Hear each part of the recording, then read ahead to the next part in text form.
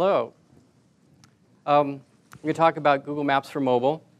And um, people might not realize this, but uh, usage growth on mobile devices is, going, is growing faster than usage on desktops. And furthermore, there are countries like India where there are more people accessing devices, uh, accessing the network and other network services from a mobile device than from desktops. A lot of people don't have access to desktops or laptops or whatever. The mobile device is their access to data services. So um, here's a screen snapshot. I took a web Google Maps a snapshot at 800 by 600. So this, these days we think of this as a small laptop, and you can see that the web version of Maps is already not tuned for this small of a screen. Uh, fairly, only maybe a third of the screen here is showing a map, which is kind of the main point, is to see the map. Um, so, uh, and if you have, uh, say, a Treo, and you run the browser, you can, uh, you know, the Treo has 320 by 320 screen, which is fairly large for uh, current mobile device, actually. And um, the web browser gives you, uh, you know, a version like this. You got a small image of the map. It's static. You can't pan it. You have to scroll the, you know, the screen quite a bit just to see any of the information. You got it all. Um, so uh, right up the bat, you know, making this information available from local de mobile devices is a um, is a UI scaling question. That's the way I think of it. And um, furthermore, you say, well, why does it matter? And the answer is actually maps and local search is something that's really good for when you're moving, when you're on the go, when you're traveling. Okay? A lot of the questions you ask are about the here and now or the nearby in space-time. So um, on the left, we have some, uh, uh, basically a simulation of a more or less typical phone. And not only does it have a fairly small screen, but uh, your whole user input is, is sort of boiled down to uh, a dial pad and two soft keys and something, you know, little arrow keys, um, which is not a lot. There's not even any letter keys. So you have to multi-tap in uh, a name or an address. Um, but you can see at least that uh, we have scaled up the, we have re, you know, changed the UI so that almost the entire screen is map. And a small number of overlays for instance, labels for the two soft keys, and then some information. Uh, the yellow tooltip gives you some instructions about what to do since, you know, how do you know which button to push? It says six will go on to the next search result. Um, on the right, we have actually, uh, this is a Windows Mobile touchscreen device. It's a fairly large screen for, for uh, current devices. And um, if you want a keyboard, you have to tap the button. It pops up a keyboard to tap on. If you want uh, to see, uh, you know, driving instructions, we switch to another screen where you can scroll through the instructions. Um, so you can see the main uh, adaptation we do here is changing the web AJAX application into a client-server application where we write the client application. It does the best job it can on the local device you have and sends a request to the server to get the information. Um, this, well, I carry an iPhone. It has a very large screen. Um, and uh, another thing we do that's really important here is um, most phones these days can actually, the application can access the cell tower um, ID information. And by sending that to, the, to our servers, we can find out approximately where you are. And that means that you don't have to type an address just to get the map to about the right page and then start searching for you know, Starbucks or whatever you want to find. Um, and on the right is actually uh, what it looks like uh, in uh, 2.0 version of iPhone if you have GPS. Okay, so what I'm going to talk about in general here, uh, top level outline, is first of all just background on mobile networks. mobile networks are a lot different than wired networks. Secondly, how do we cope with that? And then third, I'm going to talk about some other things that have something to do with scaling and mobile maps. So I took this data from um, 3G Americas, which is an industry association for uh, 3G cellular technologies. And um, the yellow line shows the uh, latency that it takes to get a packet through the wireless network. And the blue line shows the bandwidth you're getting through the wireless network as a function of these increasing um, GSM technologies. Um, I'm not sure to what degree these are, you know, really optimistic cases versus realistic measurements, but um, there's, there's this really typical pattern with technologies that the latency gets better at about the square root of the rate that the um, bandwidth gets better. Uh, Peter Denning has a talk where he explains uh, why he believes that's the case, but I'm just going to cite him and move on. Um, interesting thing to note here is, I mean, if you look at these, these latencies, this is just to get one packet through.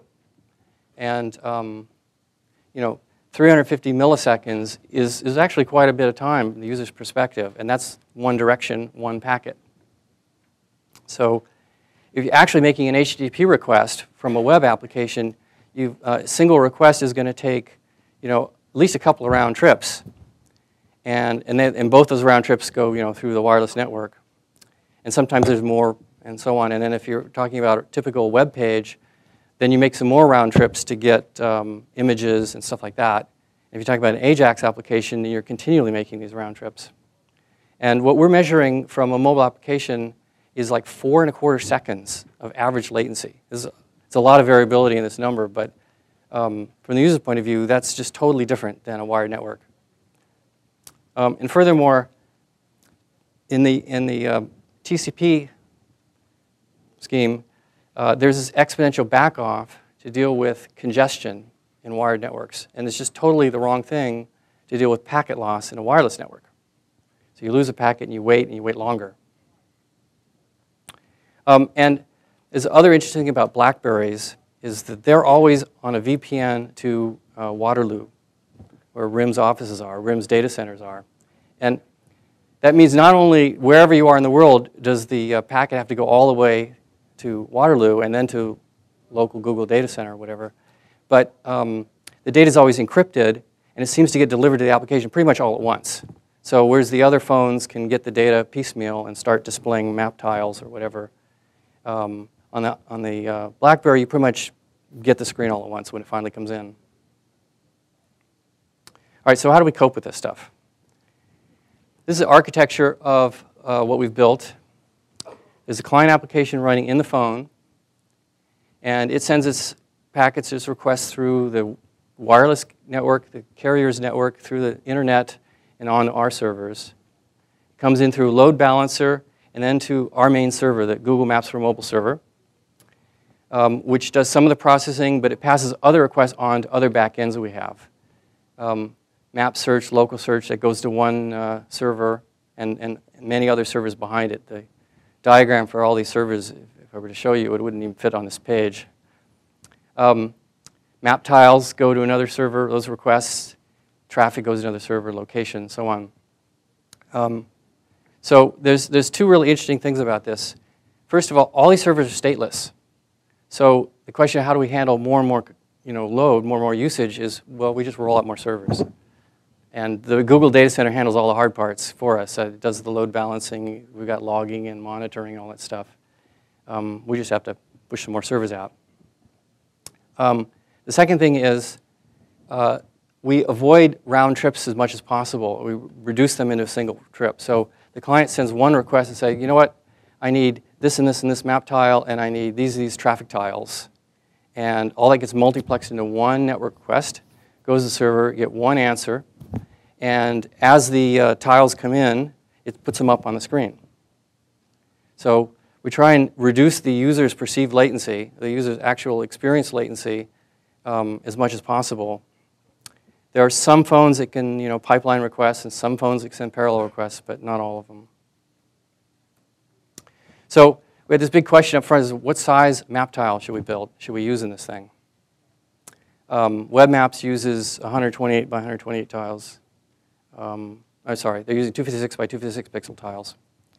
And um, so we said, okay, look, if you, you know, do a search and you jump to some new place and you have, let's, we started with a fairly small phone at the time. Wanted to say, what if you, you know, what if you have a 130 by 180 screen, and now you need to fetch the, all the tiles to fill that screen. And wherever the tile boundary is, there's going to be some amount of pixels around the edge. So the um, larger the tile size, the better the compression ratio is and the lower overhead there is per tile, but the more excess pixels you fetch. And the smaller tile, the better the users perceive actual kind of latency is because um, you start getting images on screen right away. Okay, the end result comes in at the same time, um, but you start being able to read the center of the map right away if you have small tiles.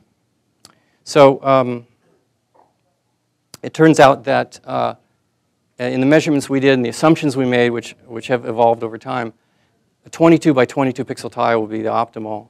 And what we did was we move up one decibel and said, look, let's make them 64 by 64 tiles. Um, looking forward to larger screens at the time and um, figuring people do some amount of panning around. It was kind of a bit of heuristic here. But I do think that the notion of using you know, one decibel as a kind of general purpose measure of uh, a noticeable improvement, a useful level, and what, what, you know, where to draw the line is, is a good one. And I wonder what PowerPoint is doing my animations. Anyway, um, we also adapted the map tiles.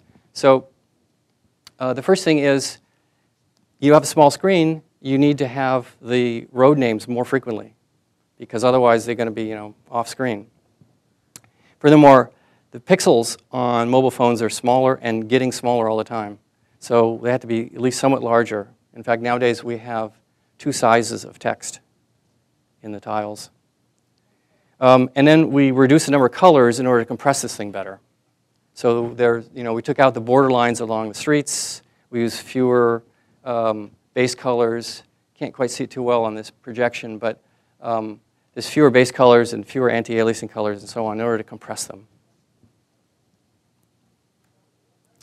Um, and then if you ask for a satellite image, some people say, well, why would you have satellite images on a mobile phone? You know, what are you going to do with that? And it's, it's fun. And that's one reason. And the second reason is it's actually useful in certain cases. I mean, you know, you're going to go to this place and you say, well, where am I'm going to park, and the map doesn't show you anything like that. But the satellite image gives you a pretty good idea. So um, now the thing about satellite images is this is really much better use for JPEG than, than PNG type decoding. JPEG has, the standard JPEG format has like a 600 byte, more than 600 byte header.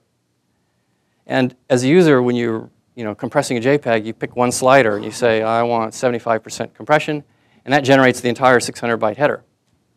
All these quantization tables and stuff like that. So we compact that back down to a tiny header and just send that. And out of a, like a 1700 byte uh, satellite image tile, that makes a significant difference. All right, so I'm going to talk briefly about some other dimensions. Um, so as you saw, scaling up and capacity actually isn't our problem and um, uh, some of these other factors aren't a problem. But now I say, what is a problem? So this is, this is a snapshot of a piece of our mobile testing lab. Okay? You got to keep a lot of phones. They got to be charged up so you can test them. They got to have data plans. Um, and they have different screen sizes, yes, they do. Uh, a lot of these things have tiny, you know, keyboards. Some of them have bigger keyboards. Um, this lab is growing maybe 10% a quarter. to the point where we actually don't keep them all powered up anymore. Um, and you need that, first of all, for testing, but uh, these things are running different operating systems. So um, these are our hard problems, actually, is uh, first of all, we have three different client code bases for three categories of operating systems. So there's a Java code base that runs on a whole bunch of Java phones, uh, Java Micro Edition on most of them, with the exception being Android. Um, Doja is some variation on Java Micro Edition. And then there's a C++ version that runs on Palm OS, Symbian, Windows Mobile, and so on. And the Objective-C version runs on iPhone. Um, that means we have three code bases to maintain in parallel and put new features in and so on. And that's something I wish we didn't have. Um, second thing is there are lots of models and makes variations of handsets. And um, carriers even take a standard handset from uh, one of the makers like Nokia and they, they ask for specific changes. They may take out the root certificates. They may modify the way the Java permissions work. They may add and just take out features or whatever. Um, and so the way, um, let me step back just a second and explain how it works when you download an application to a Java phone. There's a file called a JAD file, which is basically an application descriptor. It's a properties file. And the phone fetches this thing and it says, okay, this is the URL for the main binary, the jar file. And you need this version of MIDP and this version of the Java VM, and you need uh, this much memory for you know to use, and there's some other properties in there. And we have to throw in other properties to say things like, um, you know what, the left soft key has this key code on this phone, because there's no way to ask the phone that, which is silly, but it was an oversight someplace. So we have a bunch of those properties in there we have to generate for each phone.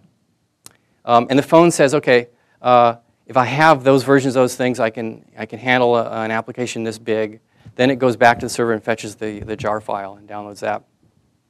Um, and uh, at one point, we had quite a few different jar files for each new release, as well as hundreds and hundreds of these JAD files for each phone model that we supported. Um, and now what we do is we, um, we've made some trade-off. So the jar files are larger. They have more variations in it for phones that might not be yours. And the JAD files we generate on the fly instead of storing hundreds of these things. So we just compose it on the fly from various pieces of information. Um, I'd say that our biggest challenge is country support. There's a lot of weirdness, there's a lot of unique things about different countries. So to name a few examples, um, there are specific laws. Uh, you know, China, we cannot export a precise, precise lat lon of a location. So think about a mapping application where we can't talk in lat lons from the client to server. um, and then a few countries like China and uh, um, India have, have their own rules. Say, here's where the borders must look like when you're inside our country.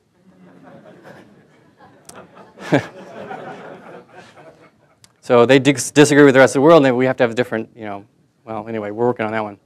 Um, and then addresses are different. In, in uh, let's see, Japan and Russia, the addresses start at the top level and work down instead of the other way around. So this has an implication on when the user types an address, when we send an address to the phone, when you format it, when you put it into the address book. There's kind of extra complexities. Uh, phone numbers are interesting even. We send a phone number and a search result so that you can push a button and dial this business. You know, you just found some local business, you want to dial it. There are people that live you know, on the borders between countries, and they want to be able to, you know, call that restaurant on the other side of the border and go there for dinner. Um, so they definitely need an international plus type phone number. And I would love to be able to just send the standard plus type phone number to um, every phone, but actually that doesn't necessarily work on Sprint, for instance. Um, and we want it, you know, to work for the local case at least. So then we have this whole heuristic that says, well, I think I better send the local number for this phone, or I'll send you know, the other number for another phone. Uh, terrain is interesting. If you are in um, Italy and you ask for some route along the coast and up into the Alps or whatever it is, it's a really, really long route with lots of little short steps in it. And that doesn't, you know, that doesn't really fit our current UI, where you look at one step at a time. And so that, you know, that kind of thing needs uh, extra attention. Um, and these phones have limited capacity for how big of a download they're willing to accept, and it, they, they vary from model to model. Um, so and when we you know, have localizations, we can't put 20 plus localizations in a single download. So what we have to do there is we now basically have, this is a minimal set of strings in there, and then once the app fires up, it contacts the server and says, okay, give me English, or give me Italian, or whatever it is, and then it gets the strings for that language which is some delay in when you can actually do much of anything with the first time, but um, it means you could run the app in lots of languages.